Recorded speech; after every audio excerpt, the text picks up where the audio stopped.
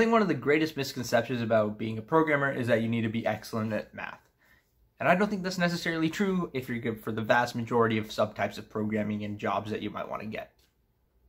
In this video, I'll be talking about the different types of programming you're probably going to be getting into and what type of math you're probably going to need for those. Some require very little math and some require a lot of math if you want to be really excellent at them.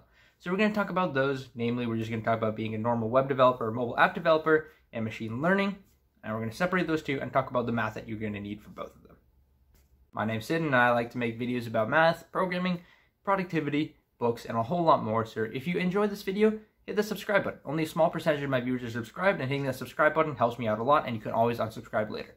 I think a myth that the public and a lot of people end up accidentally propagating is that you need to be really excellent at math to be a good programmer, that you need to be able to take advanced math classes and do them really well so that you can be a good programmer or software engineer. And that's definitely not true in my experience. For example, if you're a web developer or a mobile app developer that isn't building anything related to the sciences or something that would involve a lot of mathematical calculations just normally, then you're not going to need to be excellent at math of course, you're going to have to have really great problem solving skills, and math develops problem solving skills, but you're not going to have to know every advanced math class. You're not going to have to know calculus to be a good web developer or a mobile app developer. Of course, the more math you know, the better, right? It's great to know a lot of math, and of course, knowing basic algebra is probably something you're going to have to end up using a lot because it helps you with your problem solving skills. And that's something that'll pop up regardless of what type of programming you're going to do. Your job as a programmer isn't really to be writing code, it's to be solving problems.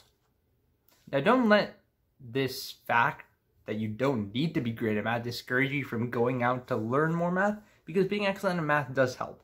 For a lot of companies, they like to have like data structures and algorithms interviews, and to be able to be good at data structures and algorithms, you're going to have to pick up some mathematical topics here or there and be able to apply those to data structures and algorithms and then apply what you've learned from data structures and algorithms in interviews or competitive programming problems if you want to do competitive programming.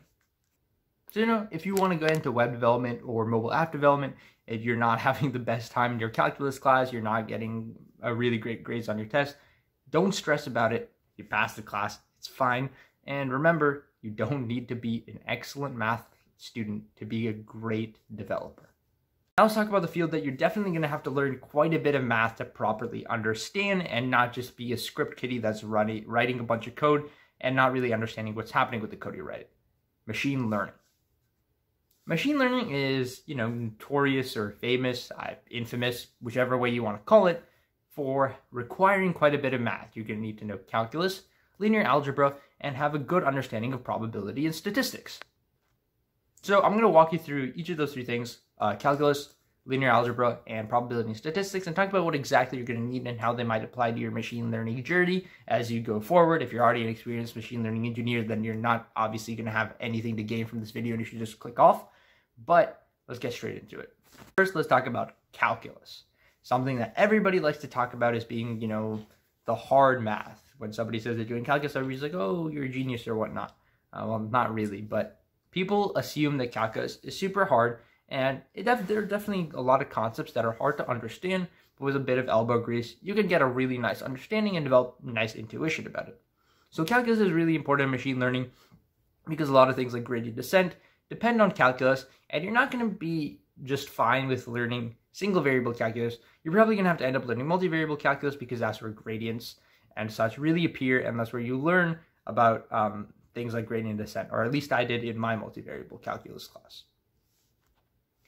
Once you know calculus, you have a pretty good understanding of some of the mechanics of neural networks, and you're able to be like, oh, so that's where this came from, and you're able to connect the two things in your head, and that's a really nice feeling when you're able to connect what you learned in math class to something you're doing in programming or machine learning, and when you put those two things together and you're like, wow, I'm actually kind of smart. Another one of the big mathematical fields you're going to hear about when you're trying to learn machine learning is linear algebra. And very simplistically, linear algebra is just the math that, de that deals with matrices and linear transformations. Matrices are a big part of machine learning, especially deep learning and neural networks. Matrix multiplication is huge there. Other concepts like eigenvector, eigenvectors sorry, and eigenvalues are also really important. And having a good understanding of those and having a very rigorous understanding of those gives you a lot of intuition for what you're actually doing behind the scenes when you're coding, like what your code is actually doing in terms of math as well as a nice mathematical understanding of what your code is doing. And that's very valuable because it makes you a little bit more efficient when you're writing your machine learning code. And it also helps you understand what's happening so you don't just end up writing whatever you see in a tutorial without really understanding what's happening and then not being able to debug it properly. If you want to learn linear algebra, then MIT Open's courseware has a great course by Gilbert Strang um, that's recommended by basically everybody. And there's also a nice uh, book by George I.E. Shilov that talks about linear algebra, and it's a really great text for learning it. And since I apparently forgot to talk about where you should be learning calculus for machine learning, um, there's a lot of great resources. You could just go through Khan Academy. You can get a textbook. There's so many places to learn calculus on the internet. Um, and there's a bunch of great resources, so you really shouldn't have any trouble finding anything. If you're just getting started, try Khan Academy. It's a great resource. And of course, we can't talk about math behind machine learning without talking about statistics and probability, although people probably call it probability statistics.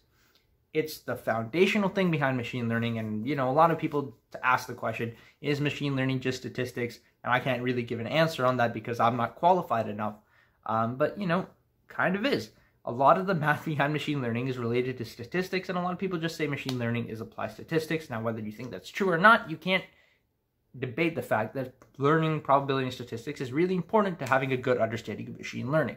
And now there's a lot of great resources for getting really good at probability and statistics, one of them being Seeing Theory by Brown. Um, it's basically an interactive website where you learn probability and statistics through interactive um, textbooks, through an interactive textbook with a lot of good questions, a lot of exercises that really help you understand what probability statistics is and understand the intuition behind it. And it's accompanied by a bunch of really, really beautiful visualizations. I'll leave a link to it down in the description below. Now, once you have a good understanding of probability statistics, you'll be able to understand a lot of things in machine learning, especially if you've already learned things like calculus and linear algebra, like I just mentioned. And once you do that, you're going to be pretty good at machine learning. You've got the math, and now you just have to practice coding things up and really understanding what you're coding. So, in conclusion, what math do you really need to be a great programmer? Nothing, really. You don't need a lot of math. You just need to be a great problem solver. But if you're going into fields like machine learning or even maybe game development where you're going to have to know some math and physics to like program physics simulations or program physics engines for your games, then you're going to have to learn some math if you're doing machine learning. You're going to have to learn calculus and your algebra and probability and statistics. If you're doing game dev, you're going to need to be applying quite a bit of math every day, maybe calculus sometimes. Um, but at the end of the day, you'll be able to learn what you need to learn. But if you're going to be like a web developer, a mobile app developer, I don't think you need to know a lot of math. And you shouldn't be too worried about not being the greatest math student because not because just because you're not great at math doesn't mean you're not going to be great at programming. They're two different things, and you can be a great problem solver without being great at math at first. And that's all I have to say to you guys. I hope you enjoyed the video. If you did, leave a like, subscribe, leave a comment down below talking about what you want to see next on this channel or maybe any questions that you have about this video. If you want to talk to me or the community more, then join the Discord server that I linked in the description below. You can also follow me on my socials. Again, links in description. Subscribe to my newsletter if you would prefer. I send that out every two weeks. There's a lot of cool information in there. Also link in the description. And also, I'm going to be running a seven day long Python course from June 13th to June 19th, I think about a Python crash course for data science. If you're interested, I'll leave a link to learning more about it in the description down below, and you can reach out to me if you want to enroll. I'll see you all in the next video, and I hope you have a great day.